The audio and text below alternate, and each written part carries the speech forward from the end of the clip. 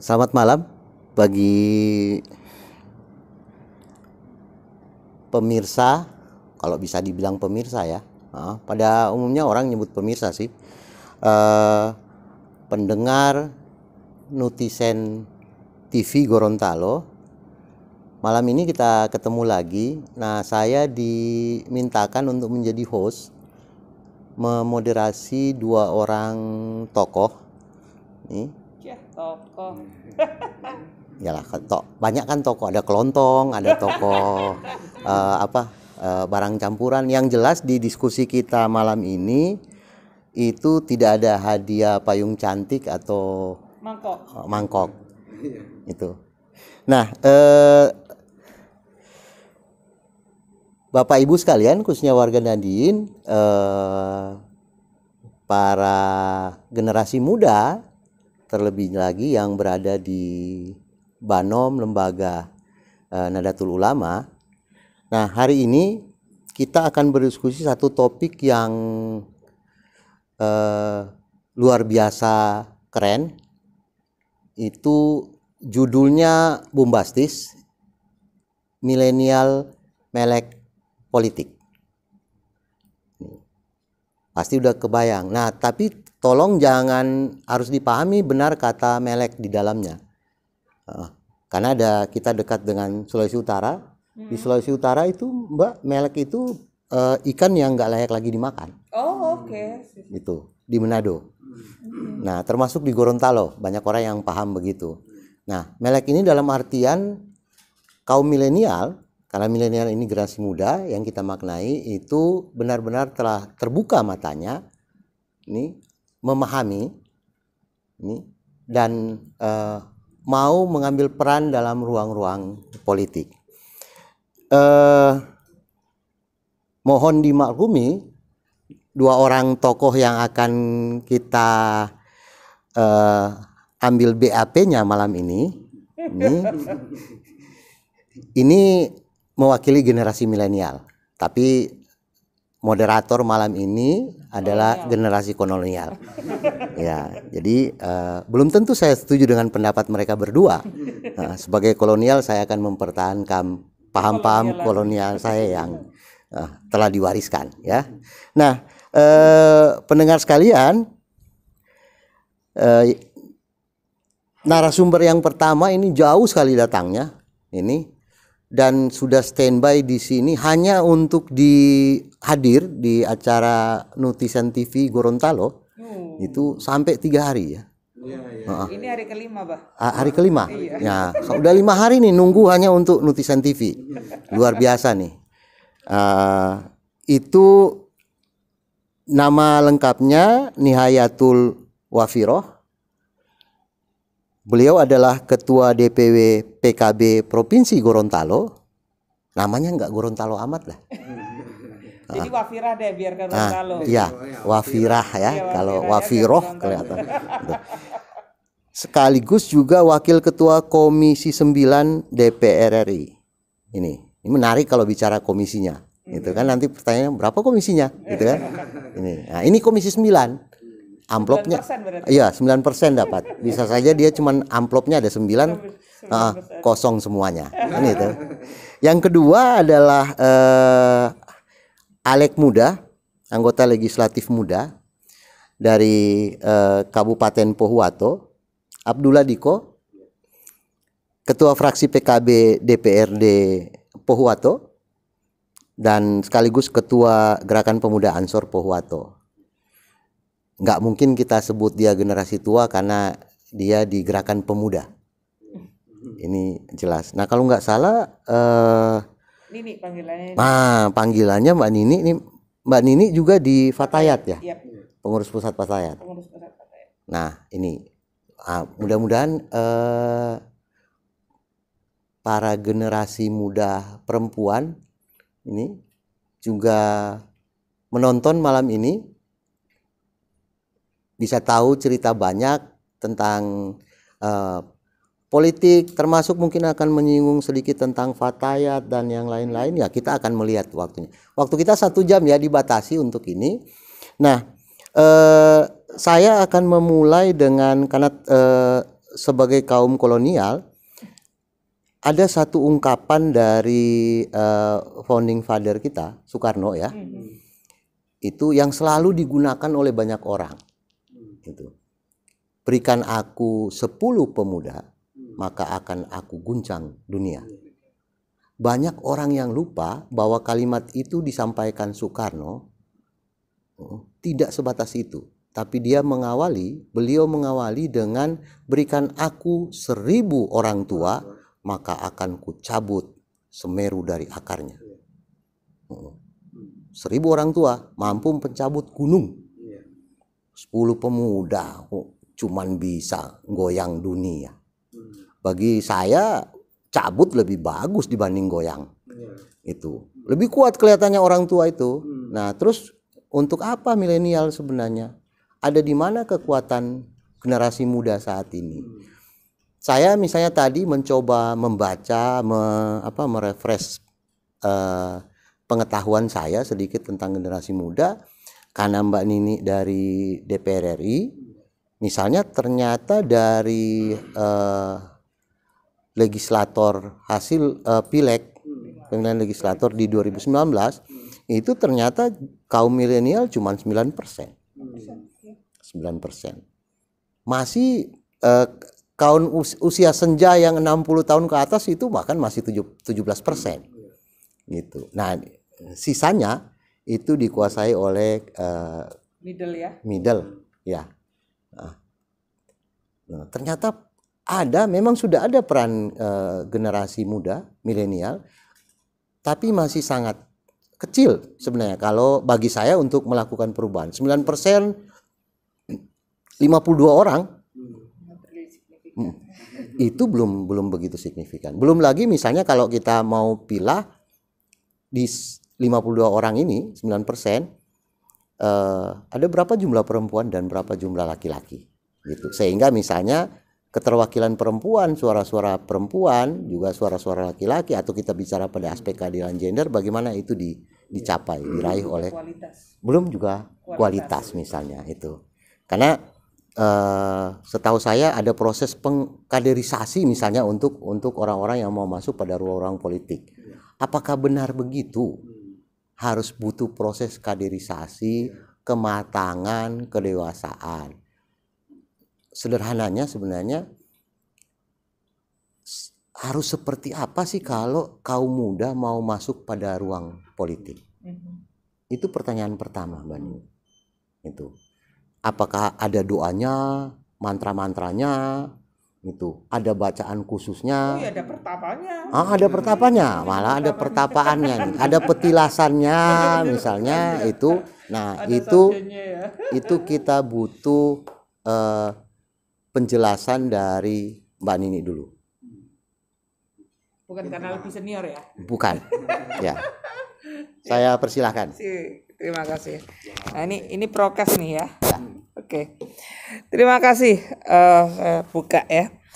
Eh, terima kasih eh saya for having me, Eh, Mas Jufri, Bang Jufri dan teman-teman eh teman-teman netizen ya netizen Gorontalo. Terima kasih sudah eh, mengadakan diskusi ini. Jadi saya ini selalu mengatakan bahwa politik ini kayak sandwich. Sandwich itu atasnya roti, bawahnya roti. Sandwich itu tidak bisa dikatakan sandwich kalau atasnya hilang rotinya atau bawahnya hilang rotinya, hanya ada layer-layer tengahnya saja. Jadi kita bisa mengatakan this is sandwich kalau bawahnya ada roti, atasnya ada roti. Roti lapis. Roti lapis, tengahnya ada layer-layernya. Kalaupun kita melakukan pemberdayaan yang luar biasa di tingkat bawah, pakai roti yang di bawah, tapi di atasnya pengambil kebijakannya tidak paham betul dengan yang namanya kondisi masyarakat di bawah, ini nggak akan lezat. Jadi perlu adanya pemberdayaan yang mendampingi masyarakat melakukan pemberdayaan di bawah. Tapi juga harus ada orang-orang yang pengambil kebijakan yang paham betul soal ke, uh, soal persoalan di masyarakat ini yang harus duduk di tempat-tempat uh, apa policy makernya. Biar ini berasa benar-benar jadi sandwich. Nah, persoalan ini yang sebe Oke. Rotinya apa harus roti yang sama atas bawah atau bisa saja roti berbeda? Tergantung, tergantung, Bawah roti tergantung pesennya. Tergantung pesennya. tergantung pesennya. Nah, ini yang yang sebenarnya banyak yang tidak yang banyak orang yang tidak yang belum paham mengenai hal ini. Orang berpikir bahwa politik itu jauh dari anak muda dan politik itu kotor. Yang ingin saya katakan bahwa yang kotor itu bukan politiknya harusnya. Yang kotor itu manusianya. 506 570 anggota DPR yang selama ini yang diberitakan yang naudzubillah kena kena apa kena apa masalah di KPK itu paling less dan 10 lah. Masih ada 560 anggota DPR yang kerja keras. Cuman pemberitaan tidak sekencang yang yang bad news ini. Bad news is good news ya for some people. Nah, ini yang kadang-kadang kita melupakan itu. Jadi banyak memang bagi banyak kaum milenial belum banyak tertarik soal politik. Lebih tertarik bahwa politik ini adalah kelompok orang-orang yang tua. Padahal kalau kita melihat Bang, kita ini di Indonesia bonus demografinya sudah luar biasa. Bonus demografi kedua. Bon- bonus demografi kedua, bonus demografi itu adalah orang-orang yang umurnya 16 tahun sampai 60 tahun, itu jumlahnya lebih banyak daripada orang yang umurnya 60 tahun ke atas. Jadi kita ini benar-benar posisinya adalah piramid terba piramid. Dalam artian orang yang yang uh, pro- posisi produktif lebih banyak daripada orang yang posisinya non produktif yang pensiunan. Jadi beban negara kita sebenarnya lebih lebih rendah. Otomatis harusnya di tempat-tempat publik itu yang paling banyak harusnya orang-orang yang produktif termasuk di ranah politik.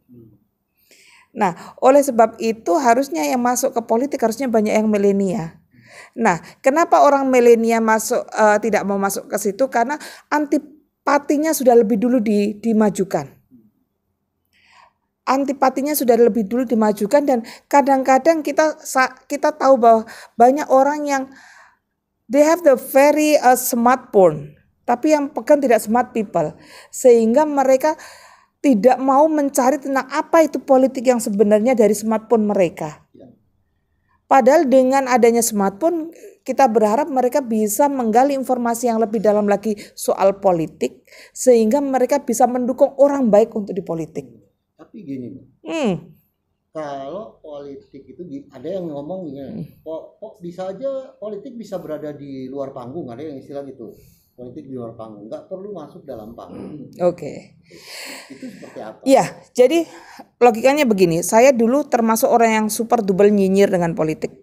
Super double nyinyir dengan politik. Jadi kalaupun sekarang ada orang yang sangat nyinyir dengan politik, saya akan kembalikan ke beberapa beberapa tahun yang lalu ya, sebelum saya jadi di DPR. Tapi ketika Anda di politik, saya di DPR. DPR RI ya, otomatis kalau saya selalu bilang ke masyarakat tanggung jawab DPR RI ini adalah mengurusi dari Sabang sampai Merauke satu kali gedokan yang saya ambil ketika rapat itu efeknya bukan hanya ke satu dua orang, tapi efeknya ke seluruh rakyat Indonesia. Ketika akhirnya kita berteriak kepada kepada kepada presiden, tolong vaksin itu jangan 30 70.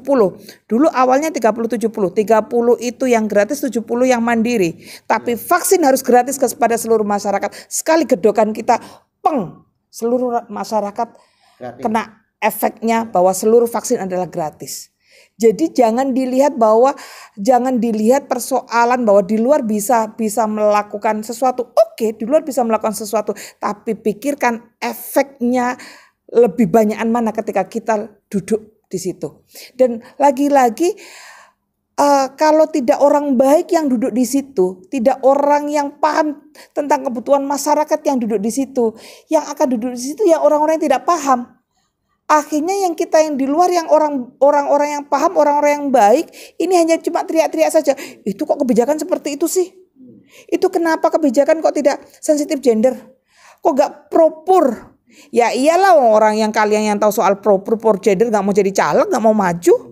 Terus ketika yang jadi bukan orang-orang yang nggak tahu soal gender, yang nggak tahu soal propur, jadi jadi anggota DPR, mereka tidak sensitif gender, mereka tidak sensitif pur, mereka tidak tahu bagaimana membaca uh, anggaran, mereka lalu menggedok anggaran tanpa berpikir soal itu, ya jangan salahkan, ya itu yang pilihan kali yang paling penting. Kalau sekarang misalnya Ah, di antara sekian banyak isu yang berkembang saat Hmm. kesehatan, Hmm. pendidikan, eh, apakah menjawab isu persoalan eh, isu-isu ini memang ruang politik menjadi salah satu pilihan strategi untuk Ya, saya bilang ya.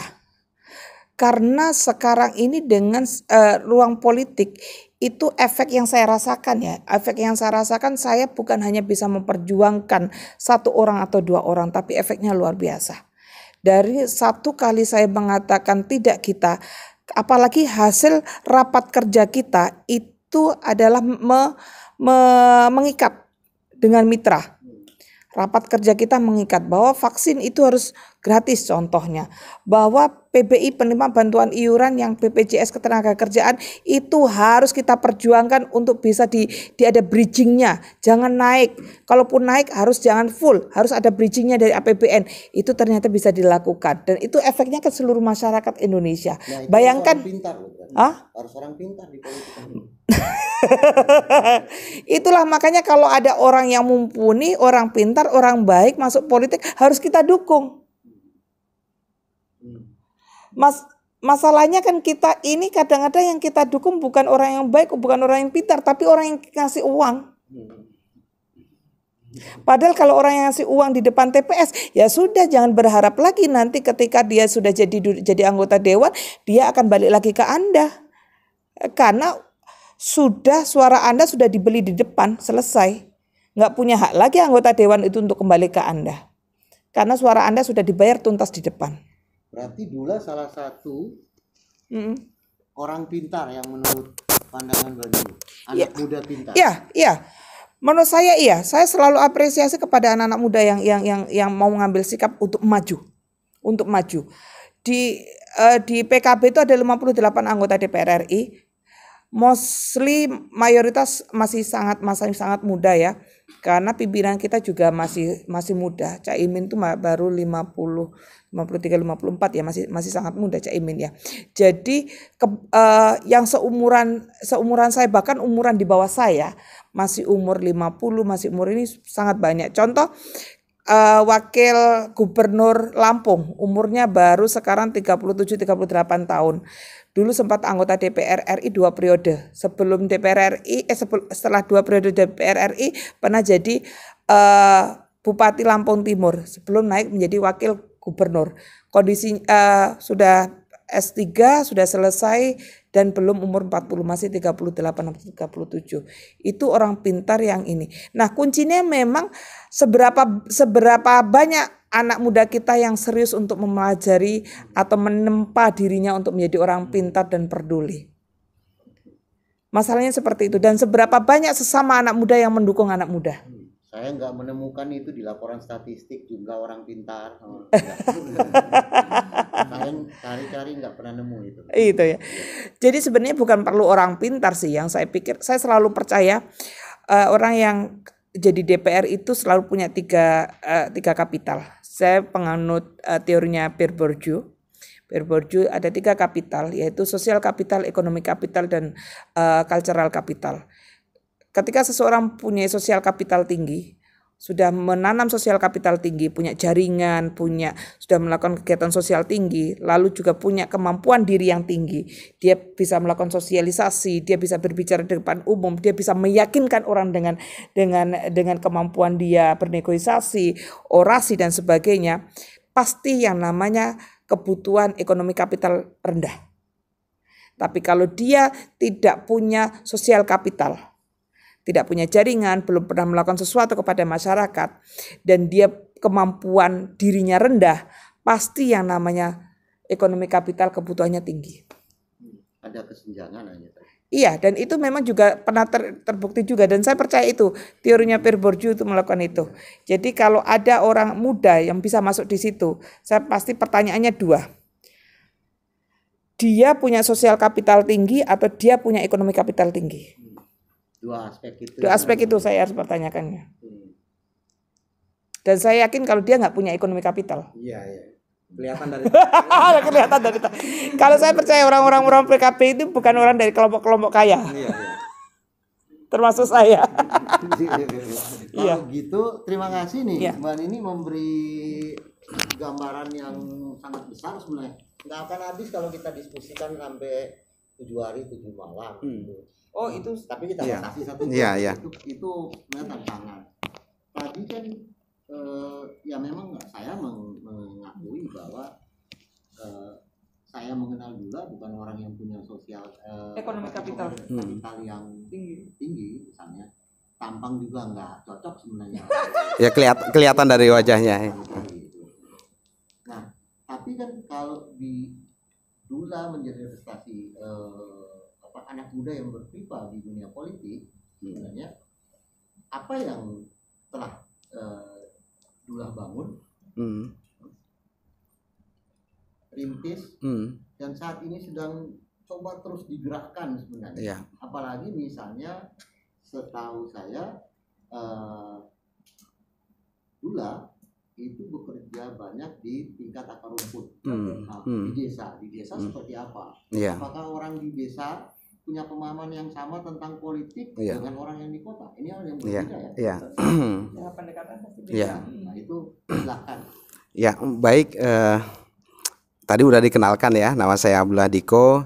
Saya salah satu ketua fraksi di di DPRD Kabupaten Powato, juga eh, memegang salah satu ketua di Banom PBNU, eh, CP Ansor tadi di bidang kepemudaan.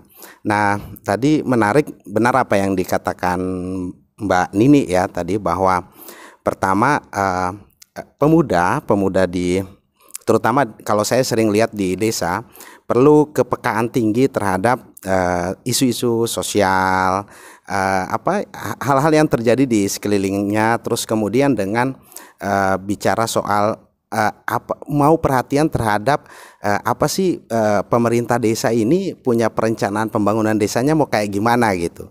Nah memang eh, tantangannya Bang Job eh, beberapa tahun sebelum saya di DPR juga kurang lebih 8 tahun ya di pemberdayaan di NGO sama juga kayak Mbak Nini. Memang kita lihat bahwa eh, masih agak kurang ya minat eh, ketika kalau bilang politik kan ujungnya salah satunya adalah kebijakan mendorong kebijakan yang punya keberpihakan terhadap banyak orang ya eh, masyarakat ya. Tapi kalau saya lihat eh, eh, ketertarikan pemuda baik laki-laki maupun perempuan untuk hadir dalam proses-proses perencanaan pembangunan desa itu masih agak kurang. Nah, eh, itu ya itu berawal dari situ. Maksud saya eh, ketika misalkan nanti ke depan juga akan mau masuk dia calon legislatif di DPR, kabupaten maupun provinsi, paling tidak bisa dimulai dari lingkungannya sekitar, dari desa gitu. Pada saat ada rapat-rapat di desa, musdus, musdes, pemuda itu eh, ayo dong eh, ikut gitu, hadir di rapat-rapat itu karena di situ akan sangat berpengaruh ya. Di samping sebenarnya di apa namanya di aturan eh, pemerintah desa sendiri, peraturan Kementerian Desa sendiri harus ada keterlibatan pemuda dan perempuan. Tapi kalau anak-anaknya nggak mau, itu kan sulit juga gitu. Sehingga eh, sering kali tidak tergambarkan kepentingan-kepentingan pemuda itu dalam perencanaan di desa gitu. Nah, Karena mau ini tidak mau ini apakah karena mereka tidak tahu Hmm, atau mereka tahu tapi lebih pada konotasi tidak baik misalnya hmm, itu sehingga tidak punya ketertarikan atau memang karena ada persoalan misalnya eh, institusi-institusi politik hmm. memang tidak menjemput bola sampai ke Iya, iya betul. Nah, tadi seperti Mbak Nini bilang eh, ada sebagian ya, maksudnya anak-anak muda dan saya juga sama sebenarnya sebelumnya waktu masih di NGO itu menganggap eh, politikus, politik itu sesuatu yang kurang baik gitu.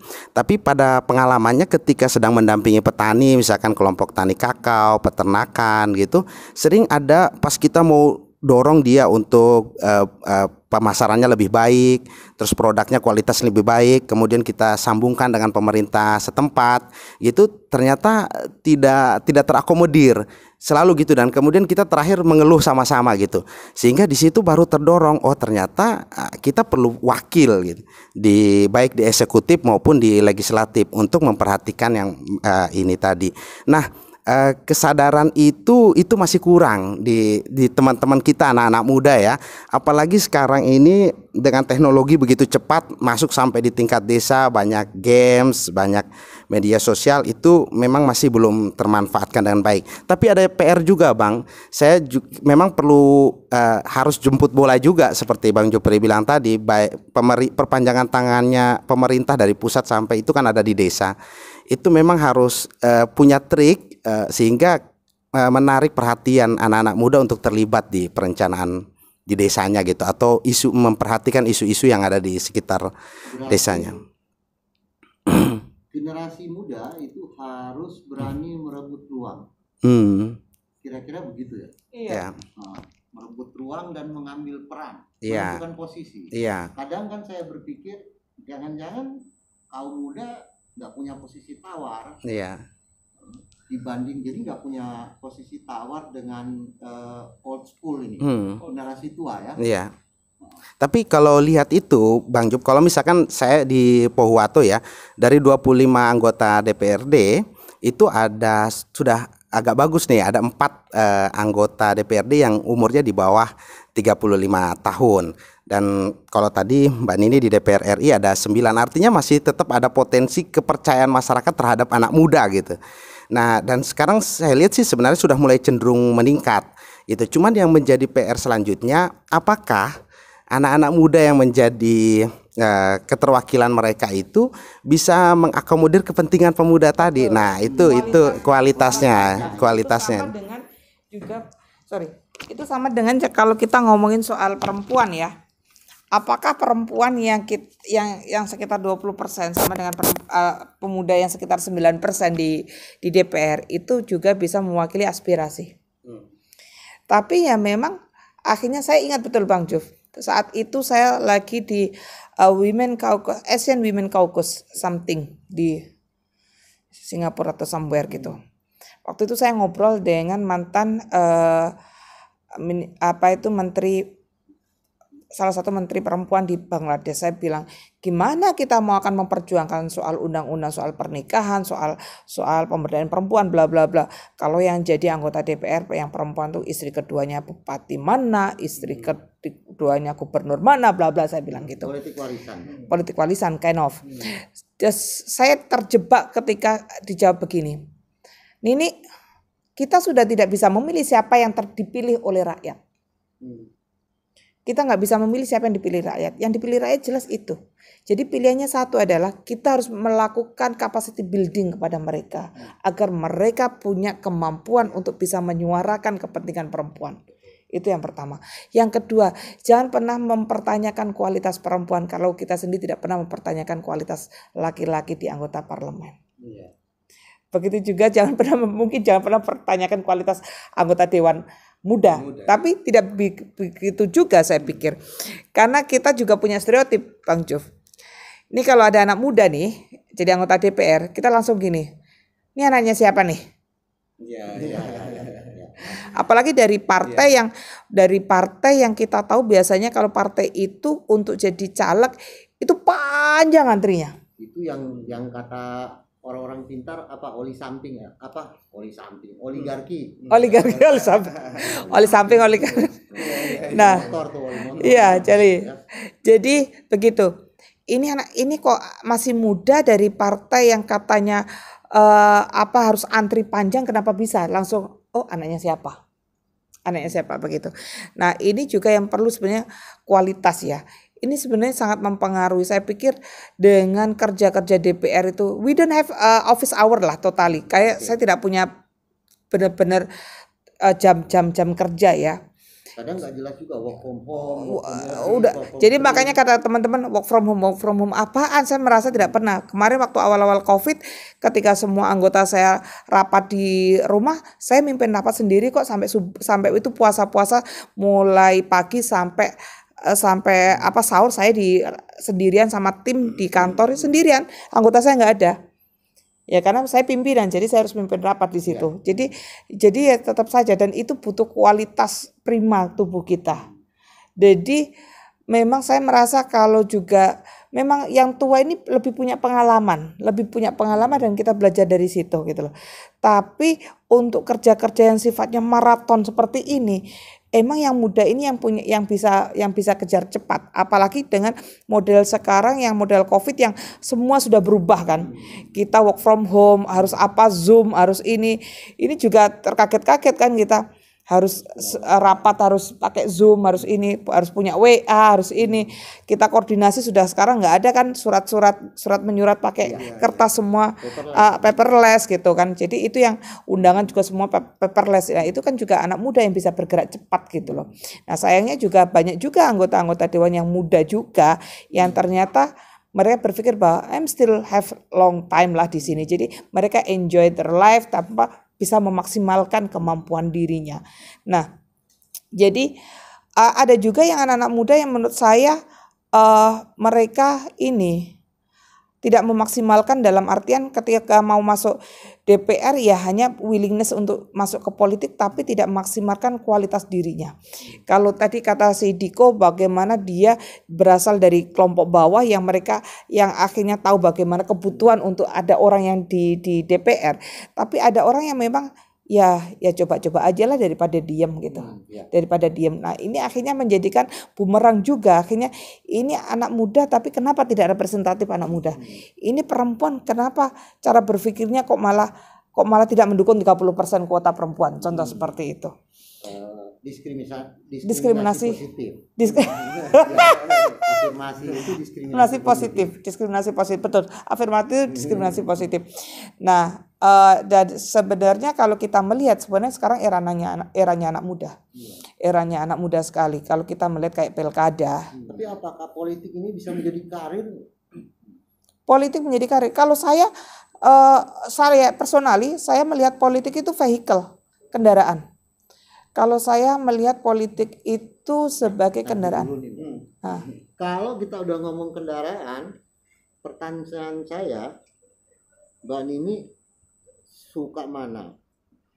Mobil baru apa mobil antik? saya suka disupirin.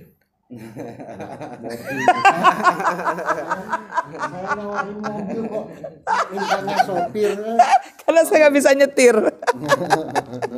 Nanti milih dulu mobil antik apa mobil baru. Supirnya nanti belakangan. Oh gitu. Nah, Saya mobil pun tidak, eh, saya lebih eh, suka mobil yang yang baru daripada mobil. eh, ada orang yang suka mobil second karena harganya lebih murah ya.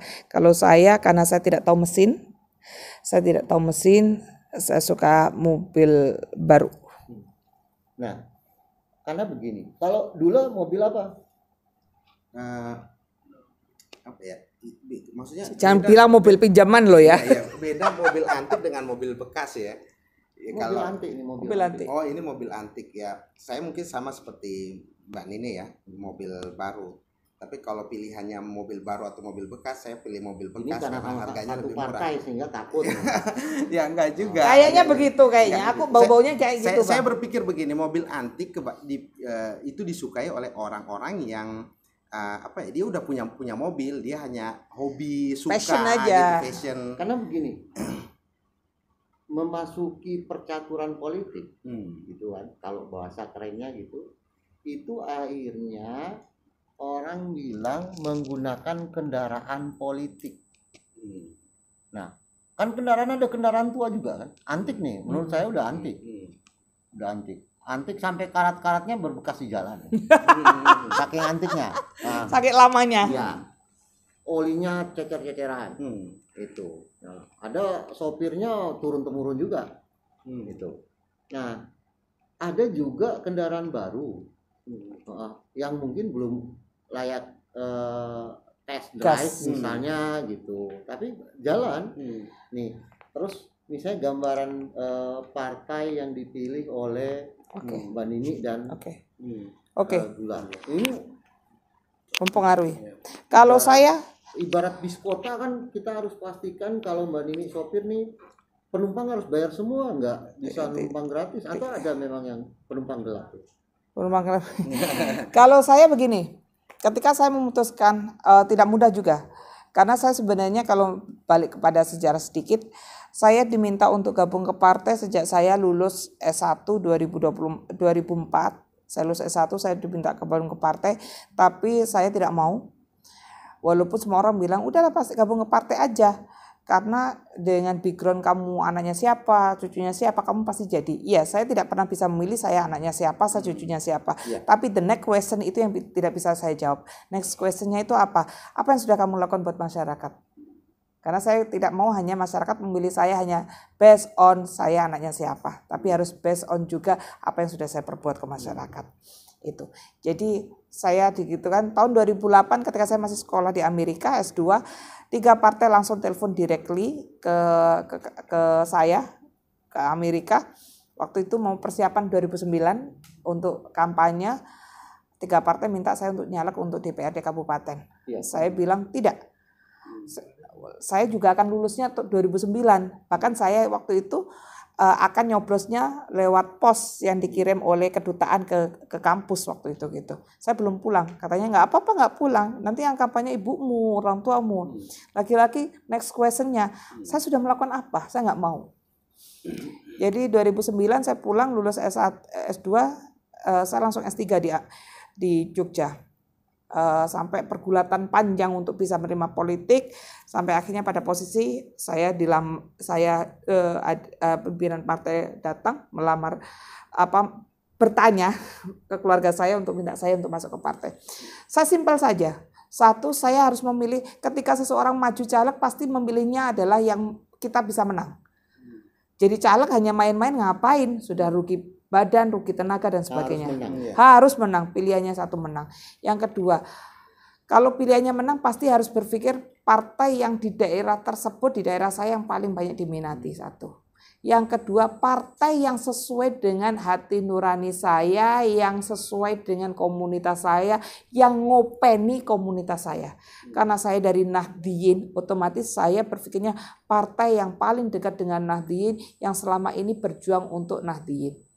No choice. Pilihan saya tet- pasti partai partai saya. Itu itu the last choice-nya di situ. PKB. PKB. Jadi bukan persoalan ini akan seperti apa seperti apa, tapi persoalan bahwa ya PKB di situ. Jadi makanya saya sangat-sangat merasa eh, luar biasa bagi kawan-kawan yang di daerah-daerah seperti Diko dan teman-teman ini yang PKB belum terlalu berkembang pesat di di Gorontalo tapi bisa memilih PKB untuk menjadi eh, menjadi vehikelnya untuk maju. Dan ternyata bisa itu luar biasa karena pasti yang pik- pikirannya bukan partai yang sudah besar di daerah tersebut, tapi partai yang memang sesuai dengan keinginan pribadi yang selama ini sesuai dengan komunitas masyarakatnya yang selama ini bisa eh, menjadi eh, apa yang merawat komunitas Nahdiinnya. Pasti seperti itu dan itu saya pikir luar biasa. Saya nambahin sedikit. Iya. Beliau gimana nih? Ya, tadi soal mobil baru tadi ya, saya baru nangkap bahwa Mbak Nini bilang bilang bahwa politik adalah eh, kendaraan ya untuk bagaimana kita bisa melahirkan kebijakan-kebijakan yang bisa memberikan manfaat buat orang banyak. Nah, eh, memang penting. ng- saya pikir kalau kendaraannya lama atau baru, yang leju- jauh lebih baik baru, karena tapi bukan hanya soal dia berapa tahun berapa dia diproduksi ya, tapi bagaimana eh, partai politik tersebut ya kendaraan tersebut dia bisa mengakomo eh, bisa update terus sesuai perkembangan zaman. Nah, semen- eh, kalau kita lihat bukan karena ada Mbak Nini di sini, tapi kita saya merasakan ya, saya hampir dua tahun di PKB itu eh, partai ini mengakomodir kepentingan-kepentingan anak-anak muda. Misalkan baru-baru ini ada apa muscap serentak ya, itu di wilayah beberapa wilayah itu eh, pimpinan-pimpinan di tingkat kecamatannya itu di umur 30 tahun ke bawah dan itu dibuat syarat seperti itu gitu. Nah, terus kemudian eh, ada beberapa organ-organ sayap yang mengakomodir anak-anak muda di situ. Saya pikir partai lain pun juga melakukan yang sama. Sehingga eh, ini cukup bagus ya ke depan. Terus yang tadi Bang Job soal anak-anak muda kenapa sih agak enggan enggan mau masuk di level itu memang perlu ada trik ya, ada tips baik kalau di di tataran partai politik bagaimana mereka tertarik untuk bergabung atau di pemerintahan. politik itu Hmm. ya. Hmm. Nah, ibarat kalau saya mau Belum sekarang. Ya, walaupun tapi sejak dari luar Ah, atau justru setelah masuk hmm. itu baru benar-benar memahami. Iya, ya sebel- sebelumnya karena bac- sering baca ya, sering baca berita, sering baca di eh, apa menggunakan internet tentang apa itu partai politik, tokoh-tokoh partai politik. nah, tapi banyak jauh banyak eh, kemarin itu saya waktu belum masuk masih agak sempit saya pikir tentang politik, tapi begitu masuk saya baru tahu wah ternyata begini banyak banyak apa ya eh, intrik banyak apa eh, kolaborasi yang perlu bagaimana tidak mudahnya mengajak orang bersama untuk apa kebijakan yang kita mau dorong itu perlu trik dan strategi gitu. Nah, saya tadi soal intrik tadi Bang untuk menarik perhatian pemuda tadi. Jadi itu bisa dimulai misalkan saya kemarin sama anak-anak muda dimulai di tingkat desa gitu. Mulai di tingkat desa eh, saya coba misalkan eh, saya akan kasih dukungan hadiah. Teman-teman coba bisa eh, saya ingin mereka mau melihat apa sih potensi yang ada di desanya. Anak-anak muda sekarang itu kadang jarang melihat potensi yang ada di desanya kemudian akan didorong oleh pemdesnya dan seterusnya. Nah itu eh, apa mereka kan suka foto nih selfie eh, TikTok dan lain-lain. Mereka silakan buat eh, apa namanya lomba foto tentang eh, kekayaan sumber daya alam, sumber daya manusia yang ada di situ. Nah, kemudian yang nanti eh, peringkat 1, 2 dan 3 itu kita kasih hadiah. Dan itu dibuat oleh teman-teman misalkan Umam dan 10 orang yang lainnya dan itu tertarik mereka terus kemudian upload foto ada apa masyarakat yang punya kebiasaan gotong royong kayak kayak apa namanya ketika ada uh, pernikahan atau ada hajatan mereka kumpul itu ada yang foto tentang itu, ada yang foto tentang sumber daya alam, pertanian yang ada di sekitar situ, ada juga yang foto tentang kebudayaan-kebudayaan lokal karena di tempat kan ada teman-teman Bali, ada Lombok. Nah, itu mereka foto-foto tempat ibadah.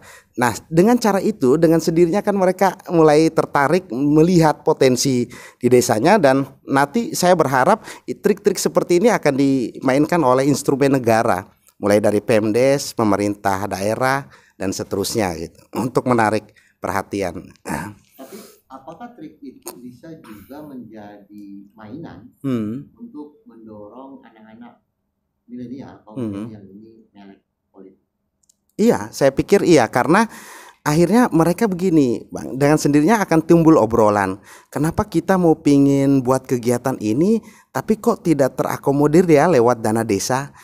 Kita udah coba ngomong ke dinas ini, dinas pemuda dan olahraga, tapi kok tidak terakomodir ya? Kenapa masa? Ah, Dengan sendirinya kan mereka melihat bahwa apa tadi Mbak Nini bilang political will ya ke- kemamp- eh, punya ke- harus ada orang yang mampu mempengaruhi kebijakan gitu dan kita harus punya wakil minimal ketika mereka tidak mau masuk ke level itu mereka harus sudah lebih selektif lagi nanti memilih wakil-wakilnya. Pemilih cerdas. Nah, terus yang yang lain juga eh, Bang Job, eh, anak-anak muda itu kadang-kadang suka berpikir out of the box ya. Cuma bedanya aja tidak belum sering oleh instrumen negara ini diberikan kepercayaan. Eh, Kadang-kadang mereka sekarang kan kalau kita lihat eh, perkembangan ekonomi digital itu banyak dipelopori oleh anak-anak muda gitu karena mereka suka mencoba, suka coba hal-hal yang baru ekonomi kreatif lebih tepatnya ekonomi kreatif itu anak-anak muda saya pikir itu harus diakomodir ke depan Baik. Saya ke Mbak Nini. Iya. Tadi Dula menyinggung tentang out of the box. Ya. Ini berpikir di luar kotak. Ya, Kotak apa? Doraemon? Enggak ada, ya. Eh, kalau di Jogja ada istilah saking saking apa eh, out of the box sehingga udah PW dan nggak mau ngapa-ngapain lagi. Dan boxnya udah jauh Ya, gitu. jauh. Nah, tapi ini kan persoalan generasi milenial yang punya zona nyaman sendiri. Zona nyaman, iya. Comfort zone-nya berbeda nih. Gimana merebut comfort zone zona nyaman dalam bacaan hmm, legislator nih.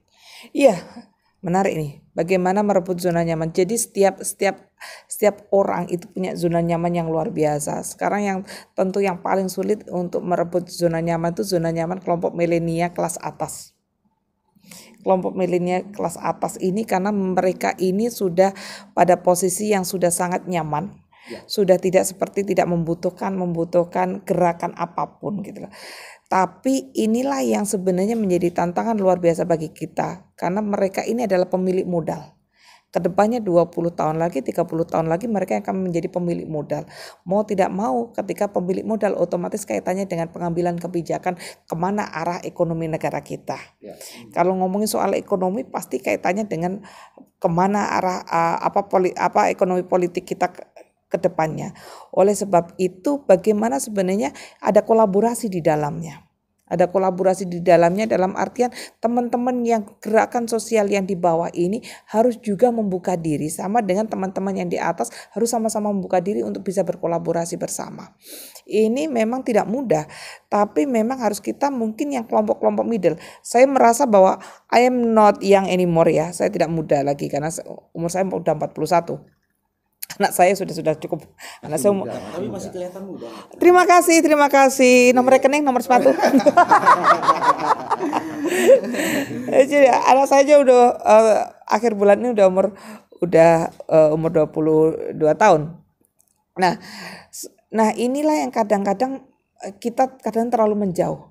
Yang kelompok-kelompok garis uh, sosial yang gerakan sosial merasa bahwa mereka sudah sangat berjuang mereka bahasa kita udah kelompok borjuis sama proletarnya sudah ter sudah sudah ada batasannya. Padahal di sebenarnya kalau kita mau jujur antara proletar borjuis ini kan sama-sama saling saling membutuhkan.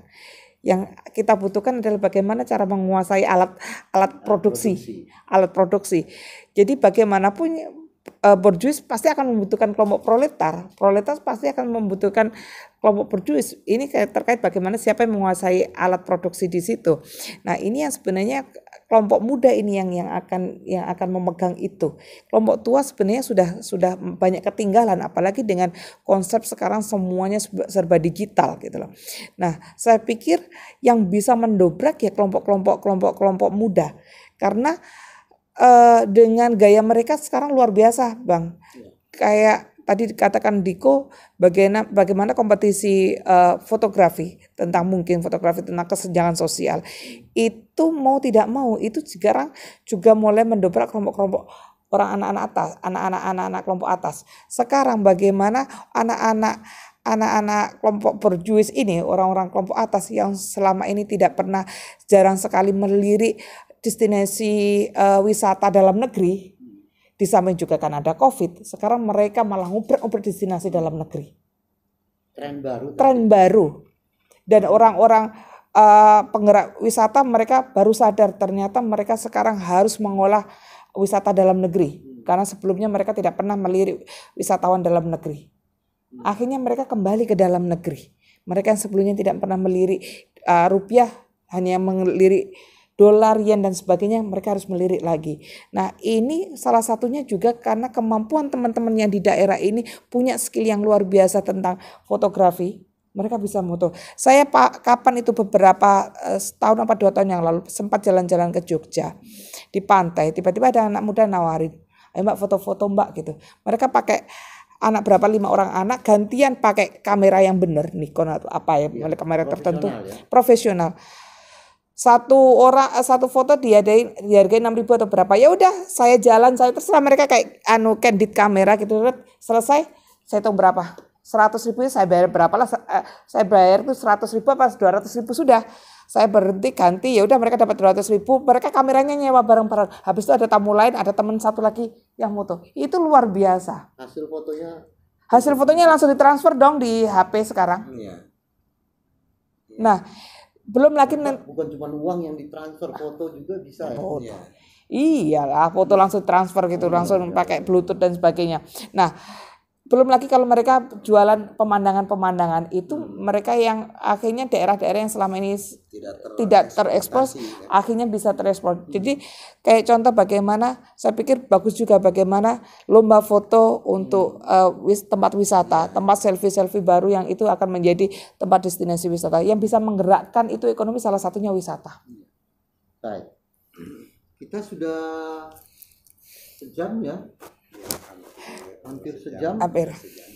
Terakhir mungkin Bang eh, saya ingin eh, saya ingin Saya punya pertanyaan spesifik ke Oke. Mbak Nini. Ada yang bertanya dari Oh, ada yang bertanya. dari apa media? Abdul Kadir Lavero. Dia mau datang ke sini bertanya langsung atau? Oh, lewat kolom komentar. Nih. Oke siap, saya on the way. Yang itu ya? Oh bukan. Yang bawah. Ini Mas. Hmm, yang bawah ini i- ibu izin bertanya. Oh, tentu ada banyak alasan sampai kaum milenial itu melek politik atau anti terhadap partai politik. Bisa dijelaskan salah satu alasannya yang lebih substans substansif. kenapa melek kenapa kenapa, anti? Hmm. Mbak Nini mau jawab yang versi mana? Yang melek dulu apa yang anti dulu? Atau cuma memilih yang melek aja? Jadi sebenarnya melek dan melek dan tidak itu sebenarnya eh, eh, apa sebenarnya eh, sama dengan kalau kita belajar sesuatu ya. Ketika kita berhenti belajar sesuatu ya Anda akan mendapatkan hanya pada sampai situ aja. Ya. Sama dengan kita belajar tasawuf ya ketika ketika Anda, ketika kita lah dulu waktu belajar filsafat filsafat apa itu Tuhan sudah mati terus akhirnya pada nggak mau sholat ya belajarnya di situ ya habis itu nggak sholat lagi tapi kalau belajarnya behind that pasti akan menemukan sesuatu Ya. begitu juga politik kalau hanya belajarnya hanya sampai pada titik bahwa politik itu kotor ya pasti di situ akan ada antipati tapi kalau anda terus belajar di dalam politik itu ada apa pasti akan akan menemukan sesuatu karena 90% dari kehidupan kita itu tidak bisa lepas dari politik Ab- Abdul Kadir Lavero, apakah cukup jelas? Kalau nggak jelas datang ke sini. kita ngobrol Kita tunggu. Itu. Nah, eh, spesifik nih buat buat Mbak Nini nih. Iya. Waktu kita tinggal berapa menit nih? lima menit kayaknya 5 menit ya. Sebagai legislator perempuan. oke Hmm, Ini yang bertanya nih apa? legislator laki-laki. Legislator. Nah, saya. Ini sebenarnya karena ada sekarang kan misalnya dia lagi eh, belum belum habis hangat-hangatnya orang bicara RUU PKS. saya pengusul RUU penghapusan kekerasan seksual. Nah, ini, ini bagaimana sebenarnya di legislator itu melihat itu posisi perempuan itu Oke. memang mampu benar-benar dikuatkan ke depan. Terus bisa menarik nih generasi muda perempuan untuk Ya. mari benar-benar bahwa ini menjadi perjuangan bersama. Jadi eh, ngomongin soal RUU penghapusan kekerasan seksual, saya dan tiga orang, ada yang dari PDI dan dari PAN, kami adalah bertiga tahun 2017 kami adalah pengusung RUU penghapusan kekerasan seksual. Kami pengusulnya. Cuman habis itu eh, saya tidak dibalik, saya menjadi pimpinan Komisi 2, lalu itu dibahas di Komisi eh, 8. Memang sebenarnya kami berharap itu tidak di Komisi 8. Komisi 8 itu adalah komisi soal agama. Kita berharap itu menjadi pansus. Kalau menjadi pansus itu jadi ada komisi agama, komisi kesehatan, komisi hukum dan sebagainya dikeroyok. Kalau komisi agama perspektifnya akan perspektif agama saja. Tapi kalau pansus ini akan menjadi eh, apa perspektifnya akan banyak berubah. Akan ada perspektif dari sisi kesehatannya, ada sisi macam-macam itu. Nah, kenapa perempuan harus berpolitik? Itu kan the, the, the big questionnya itu. Kenapa perempuan harus berpolitik? Karena pengalaman perempuan itu berbeda dengan pengalaman laki-laki Pengalaman empiris. pengalaman empiris perempuan berbeda dengan pengalaman laki-laki. Kepentingan perempuan berbeda dengan kepentingan laki-laki. Contoh begini. Ketika kita menyusui, kita membutuhkan tempat yang spesifik untuk menyusui. Di wilayah di tempat-tempat umum. Dan itu pengalaman itu tidak dimiliki oleh laki-laki. Bagaimana bisa kita akan mengambil membuat kebijakan yang baik, kebijakan bahwa seluruh tempat yang tempat apa tempat eh, apa public public space, tempat umum itu harus ada tempat laktasi kalau ternyata pengambil kebijakannya tidak ada perempuan. Belum lagi soal pengalaman-pengalaman perempuan yang lainnya. Soal bagaimana kesehatan reproduksi dan sebagainya itu membutuhkan pengalaman perempuan. Jadi eh, banyak hal yang sebenarnya meski kita perjuangkan di situ. Karena pengalaman perempuan itu tidak bisa dititipkan kepada laki-laki. Saya sepakat pada itu. Iya. Nah, karena saya nggak mau di tempat peneliti Pak. Betul.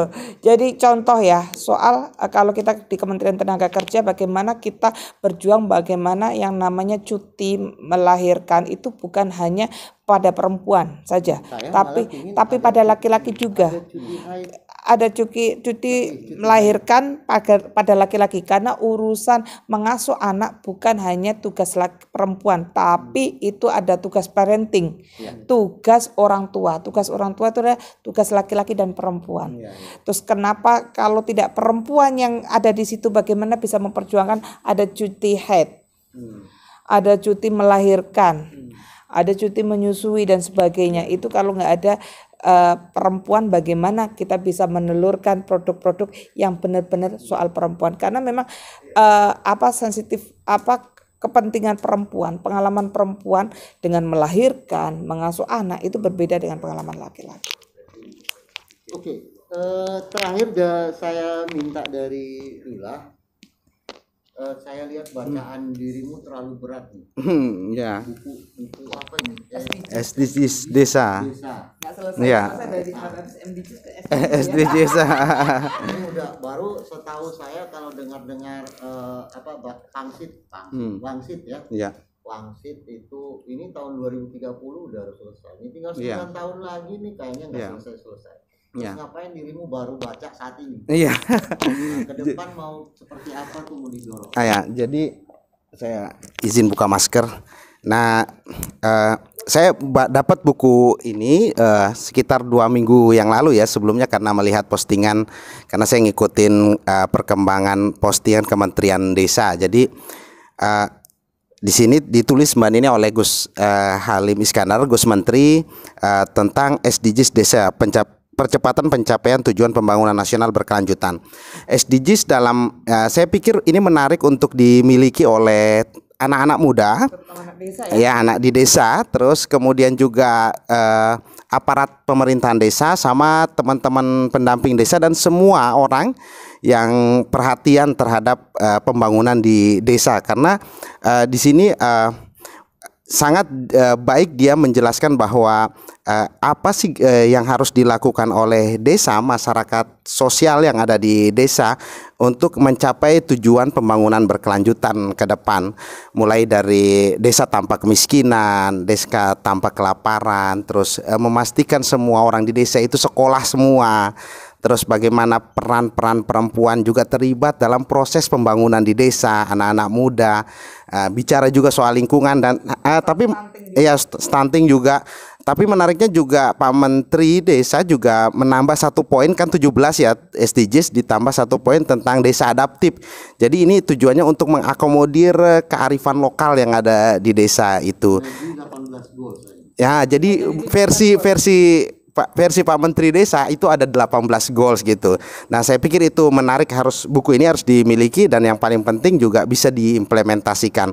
Nah, PR saya di tingkat daerah ya di di kabupaten eh, karena SDGs ini udah di kalau turunannya dari hasil kesepakatan di di eh, iya MDGs dan seterusnya. Nah, kemudian diterjemahkan oleh Menteri Desa lewat peraturan-peraturan Menteri Desa terakhir itu kalau tidak salah peraturan Menteri Desa nomor 13 tahun 2020 terkait perencanaan pembangunan di desa, pembangunan berkelanjutan. Nah, ini juga perlu untuk diterjemahkan di level daerah dalam bentuk peraturan-peraturan daerah sehingga so- soal isu SDGs ini dikerjain sama-sama gitu. Nah, memang eh, ada tools yang harus memasukkan itu dalam RPJMD, RK RKPD, tapi eh, belum ke- kuat, belum kuat gitu eh, di ter- tergambar di dalam perencanaan-perencanaan itu. Saya pikir Ini begitu. buku ini cuman satu sama Bapak. Cuma satu dan ini ada di Gramedia. Teman-teman bisa Iya. bisa eh, beli. Saya sa- berapa? Ya ada di toko buku. Sebut merek. oh di toko buku ya. Ah, ini udah mau terakhir ya bang ya? Iya, Terakhir, iya. saya terakhir ya. Ada masih ada pertanyaan Hmm. yang muncul di sini walaupun Pak saya terserah eh, apa Mbak Nini sama Dula untuk menjawab atau tidak itu hak prerogatif yang Hmm. Iya ya. diberikan ke Iya. saya gitu. Hmm. Tugas Anda hanya membacakan. Hmm. Ya, maksud saya sebelum saya baca ini karena Dula menyebut Gus Menteri ya masa Menteri cuma ngasih satu buku kan itu aneh kan itu jadi harusnya Dia Ya, beli dibagikan bukan dikasih. oh beli ya oh gitu ya. Mudah-mudahan Gus Menteri dengar sehingga sehingga bisa dapat bocoran buku kan kita. Walaupun cuma PDF-nya kan. Itu. Oke ada pertanyaan dari Herianto Ibra Herianto Harmain. Harmain. Izin bertanya kaum muda milenial banyak apatis dengan persoalan politik. Hal ini disebabkan banyak contoh yang dipertontonkan politikus. Kalau sudah bosan atau tidak punya jabatan di partai politik A, secara otomatis akan meloncat di partai politik B, seperti si kutu loncat. Hmm. Ha- harusnya ada pendidi- pendidikan politik bagi kaum muda yang dilakukan oleh perwakilan wakil rakyat, khususnya dari unsur perwakilan pemuda. Ini, itu pandangannya. Nah, jadi ini bukan pertanyaan sebenarnya, ini usulan, pernyataan, gitu ya. Nah, nanti eh, mungkin bisa dijawab oleh Mbak Nini itu eh, atau Dula apakah memang harus ada pendidikan politik yang dibangun ya itu sebenarnya tujuan pertanyaan. Terus penanya kedua itu dari Siti Rohmah. Bu Nyai mohon dijelaskan untuk menjadi sosok seperti jenengan itu butuh waktu berapa lama? Nah, saya sangat terinspirasi dengan jenengan. Sosok, sosok seperti apa ini? Langsung aku saya bingung li- Ya, yang bingung tadi pokoknya yang Jo. yang tadi diceritain itu ya, sampai Bang? bisa bisa apa? Gitu. Nah, paling tidak bisa apa? Ini udah, banyak. udah ubanan. Heeh, itu kira-kira siapa? Mau jawab yang duluan dulu. Apakah perlu pendidikan politik? Ini ah, kalau di level eh, pusat, Ya. terus di level daerah seperti apa? Jadi sebenarnya eh, saya seperti katakan tadi kadang-kadang kita terbentur dengan pemberitaan media ya. A Bad news is good news for for for the for the some people, some groups lah gitu. Jadi seperti saya katakan tadi bahwa 575 anggota DPR paling yang bermasalah 10 orang. Hanya kon dengan jari aja lah yang 560 sekian itu masih kerja banting tulang seperti kami-kami ini yang yang yang banting tulang yang harus mengumpulkan tiap hari saya terus terang Bang Bang Juf tiap hari itu masih ada pasien saya pasien bahwa Mbak saya butuh kamar di rumah sakit ini Mbak saya butuh ruang isolasi sekarang ini masih ada dua orang yang saya isolasi di di di Jakarta yang harus saya kirimin obat karena COVID. Saya harus nyarikan rumah sakit di harap- harapan kita. Belum lagi yang eh, masih belum dapat vaksin atau apa. Setiap hari pasti seperti itu walaupun posisi saya di sini. Sekarang sih masih lumayan longgar ya. Kemarin-kemarin bisa sampai ada pasien saya sampai 11 gitu ya. Harus ngirimin obat, saya harus harus bayarin orang untuk isolasi karena rumahnya rumahnya ada kamarnya cuma dua. Serumah delapan orang dia mau isolasi di mana? Di rumah sakit juga sudah nggak ada. Di wisma atlet juga sudah full bagian seperti itu seperti itu. Jadi eh, banyak orang yang sebenarnya melakukan hal seperti itu. Mostly anggota DPR melakukan seperti itu tapi itu tidak pernah tercover bagaimana saya bisa dijaga tim-tim berapa bulan sekali saya harus memulangkan anggota di, anggota ah, TKI Mo- mohon maaf sekarang bahasanya bukan TKI tapi PMI pekerja migran Indonesia. PMI dari luar negeri yang baik sakit meninggal atau penjut dipukulin majikannya gitu ya harus memulangkan dengan biaya sendiri dan sebagainya. Itu banyak sekali yang melakukan hal seperti itu tapi itu tidak pernah tercover oleh media. Ya eh, paling yang bisa kita lakukan salah satunya adalah eh, di di Facebook dan sebagainya dan saya tipe kali orang yang tidak punya anggaran untuk untuk dana untuk media. Jadi kalau ada orang tanya berapa anggaran untuk media, mohon maaf saya tidak punya anggaran untuk media. Anggaran untuk maintain media itu saya tidak punya. Karena saya prinsipnya as long as saya punya konten bagus, media pasti akan nyari saya. Jadi yang saya pikirkan bahwa bagaimana saya punya kualitas yang bagus, konten bagus, pasti akan media akan nyari saya. Saya berpikir, seperti itu. Jadi yang bisa dilakukan selain memang eh, partai harus melakukan pendidikan politik, anak muda harus menggunakan media yang ada untuk mencari, untuk mencari informasi-informasi yang ada tentang uh, tentang politik itu sehingga uh, yang ada bukan dari hanya media mainstream saja tentang tentang kerutan media, tentang kerutan politik yang ada, tapi bagaimana kita kita ini yang jungkir balik itu juga tercover begitu. Yang kedua Bu Bu Roma, kayaknya Bu, Bu Siti Roma ini kayaknya ini deh, Bu Siti Roma Wonosari deh ini kayaknya, ketua Muslimat uh, Bolemo kayaknya, beliau aktivis. Ini beliau ketua Fatayat rumahnya kampung tapi luar biasa, sangat melek teknologi, biasa Zoom, biasa ini luar biasa beliau. Ah, saya tidak tahu untuk menjadi sosok seperti saya sosok seperti apa. Maksudnya gemuk badannya atau ya apa Bang Juf maksudnya Bang Juf? Nah, sebagai representatif tokoh muda perempuan. Terus uh, kok kamu yang me, kamu yang me, me, menjelaskan membantu. membantu. Ya, kalau representasi tokoh muda perempuan artinya Bu Siti seumuran. Iya iya.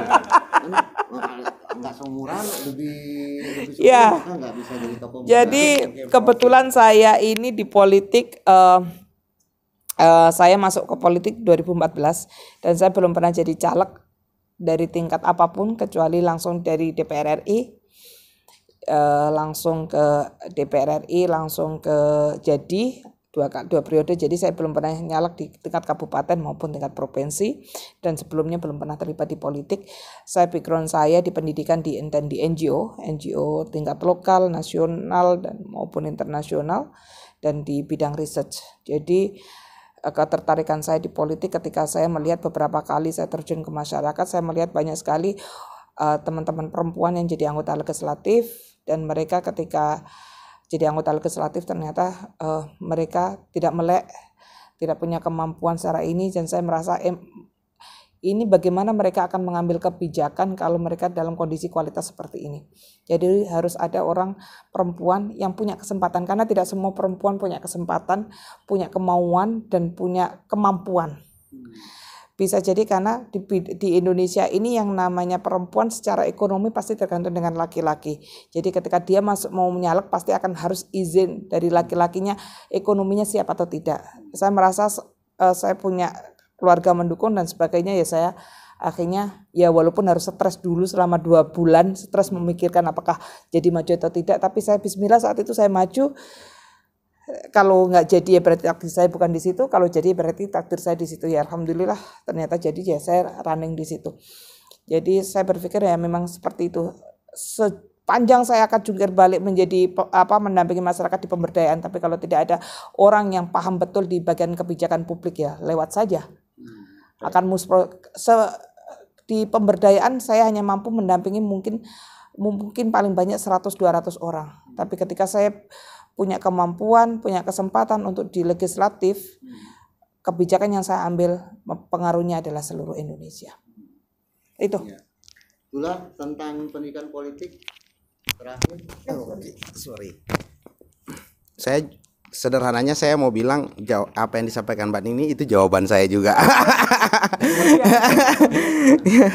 baik, baik, baik Bang. Uh, ya, mungkin uh, terakhir kalau perspektif saya juga sama sih kurang lebih tapi uh, kalau untuk kita di di tataran lokal ya di desa minimal pertama supaya anak-anak muda itu kan kalau kayak mau jadi uh, anggota DPR atau apa kadang-kadang tidak banyak yang mencita-citakan itu tapi dia uh, dia lahir dengan sendirinya dengan proses alamiah yang ter, yang dia lakukan sehari-hari.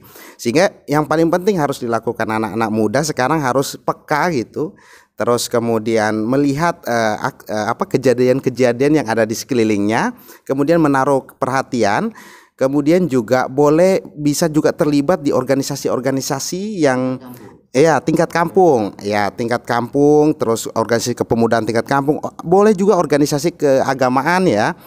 Uh, dan misalkan ke nah, uh, di banom-banomnya Nahdlatul Ulama itu bisa membantu kita berproses untuk berkembang. Kalau sudah agak berani sedikit juga bisa masuk di organ-organ saya partai misalkan. Uh, itu bisa juga untuk belajar uh, bagaimana melihat uh, apa namanya kebijakan-kebijakan apa yang harus didorong, diambil, begitulah kira-kira untuk proses belajar. Saya pikir itu bang ya. Dan yang paling penting juga Mbak Niaya selalu bilang ya, saya beberapa hari temani beliau bahwa ibadah apa politik itu adalah bagian dari ibadah gitu ya kita yang orang muslim jadi eh, ap- prosesnya juga harus baik jadi kalau udah niatannya baik maka insya Allah akan melahirkan eh, eh, kebijakan-kebijakan yang bisa memberikan manfaat. Tidak ada yang tertinggal gitu. Memastikan bahwa s- semua masyarakat yang ada paling di bawah paling di desa memastikan mereka mendapatkan pelayanan publik yang baik kesehatan pendidikan dan semuanya. Dan itu kita semua harus peka. Nggak hanya anggota DPR-nya nggak aja pejabat pemerintah ya. Tapi semua kelompok-kelompok yang ada di masyarakat ya, anak-anak muda gitu. Terima kasih Terakhir, simple, simple uh, uh, uh, closing closing statement, closing statement saya. Kalau uh, uh, bagi saya politik itu not only about how to get the power, tapi how to serve the community. Jadi bukan hanya bagaimana mendapatkan kekuasaan, tapi bagaimana melayani masyarakat. Terima kasih banyak. Saya Kelompok kolonial. atas nama kelompok kolonial nih yang sedang mewawancarai yang milenial. Ini saya ingin bikin kesimpulan yang sebenarnya susah disimpulkan. Gitu. Kesimpulan tadi memang Anak muda jangan takut berpolitik ya. Ikut ya berpartisipasi. ini kok nyetir orang tua. Hmm, Nggak beres. Kesimpulannya itu. Nggak beres. Nggak bisa. kolonial jangan disetir dia. Jangan nggak bisa disetir. Iya, iya, iya. Jadi kalau tadi pertanyaannya adalah memilih mobil kendaraan, saya tetap memilih mobil antik yang baru. Iya. Mobil antik Ini pilihannya pilih mobil antik apa mobil baru? ya, curang mobil ya. antik yang baru. Saya memilih mobil antik yang baru. Berarti harganya lebih mahal. Wah jauh lebih mahal itu. Oh, Dan nggak mungkin ada. Nggak mungkin ada. Ya. Nah, eh, penonton nutizen Gorontalo ya sekalian malam ini banyak sekali yang bisa kita simpulkan. Tapi kesimpulan itu saya kembalikan pada Anda sekalian. Nah, pilihannya ada pada Anda sekalian. Tapi jika kalian mau masuk pada kategori yang disebut Mbak Nini sebagai generasi muda cerdas, eh, generasi muda yang pintar, generasi muda yang sadar tentang kebutuhan real bangsa, Iya. maka pilihan terbaik ya harus berperan. Gitu. Peran itu kita kembalikan pada diri Anda. Tapi saya tetap akan balik pada apa yang saya sampaikan di awal. Menurut Soekarno, Iya. hmm, berikan aku seribu orang tua akan kucabut hmm, gunung Semeru dari akarnya. Berikan aku sepuluh anak muda akan kugoyang dunia. Sampai hari ini untuk mencabut gunung tetap harus orang tua. Hmm. Nah, yang anak muda urusannya goyang-goyang dunia. Iya. Ya. Sampai ketemu lagi di diskusi kita berikutnya. Nah, semoga ada manfaatnya. Terima kasih.